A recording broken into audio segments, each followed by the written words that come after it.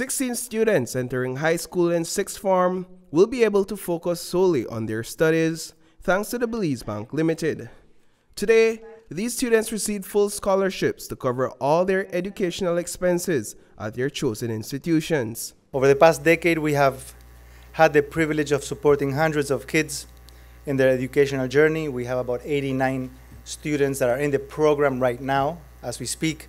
Filippo Alario, the Chief Executive Officer at Belize Bank Limited, says seeing students progress as the bank continues to support them is a source of inspiration for the financial institution. At the Belize Bank, we believe that education is a cornerstone of personal and societal development. We are proud to have supported many of you. Uh, we even have kids that have moved on and gone to great universities. We have a graduate of Harvard University. Um, he's so big we can't find him.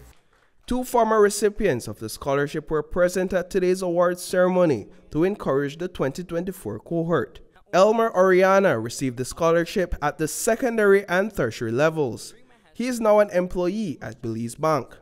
Dwight Gillett Jr. received a high school scholarship from Belize Bank in 2020.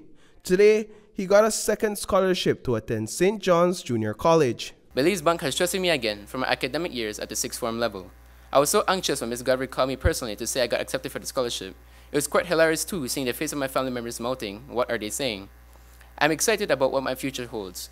With that, I implore you students to not fear the new experiences high school brings. I accept them wholeheartedly, as most consider that period as the best one of your life.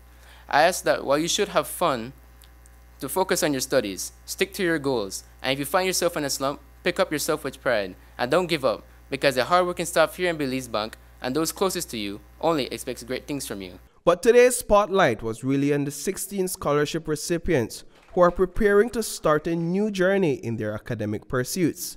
Martin Leslie and Kia Griffith are among this year's recipients. They must maintain an average GPA of 2.75 and above to keep the scholarship.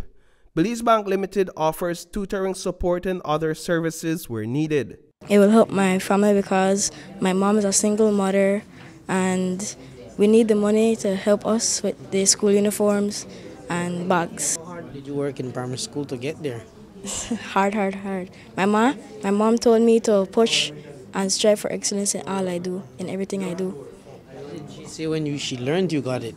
She, she was with me and she cried with me. For you, what is your plans? Like, I know you're just going to high school, but what do you hope to become in the future in terms of a career and why? I want to be a pediatrician when I get older and why? Because I want to help sick children because I suffer from sickle cell and I want to help them. I decided to apply for the scholarship because um, I want to make my mom proud yeah. And make myself proud. What was your response when you found out that, yes, I got it? Um, I cry, tears of joy. Yeah.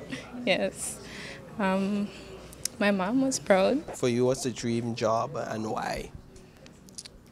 Accounting, to work in a bank because I don't know. This is early morning there. Yeah, I think so. Reporting for News 5, I am Paul Lopez.